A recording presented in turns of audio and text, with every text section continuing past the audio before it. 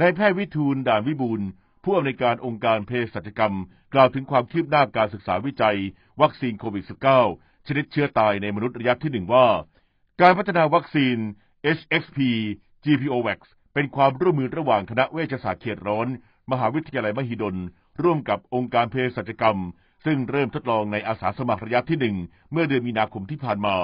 จากนั้นได้ส่งตัวอย่างไปตรวจในแลบที่ได้มาตรฐานของหลายสถาบัน ผลที่ออกมาเบื้องต้นพบว่าค่อนข้างดี มีภูมิคุ้มกันตอบสนองได้ดี